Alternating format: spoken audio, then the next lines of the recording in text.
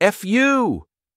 These words almost cost Daniil Medvedev his chance to reach the Wimbledon final. But how did he escape disqualification? Before we continue, if you're a tennis fan and want to stay updated on all the controversies and amazing plays, subscribe to the channel and hit the bell icon. Imagine the scene.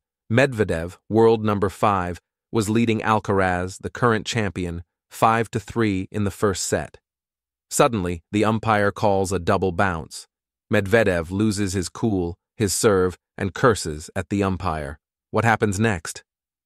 Umpire Eva Asderaki calls the supervisor immediately. Everyone is on edge. Will Medvedev be disqualified, losing his chance to reach the final?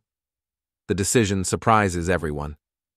After a tense discussion, the verdict, just a warning for unsportsmanlike conduct. Medvedev narrowly escapes but is now on thin ice. If he repeats this, he could lose points, games, or even be expelled from the match. So, what do you think of this decision? Should Medvedev have been disqualified? Comment down below.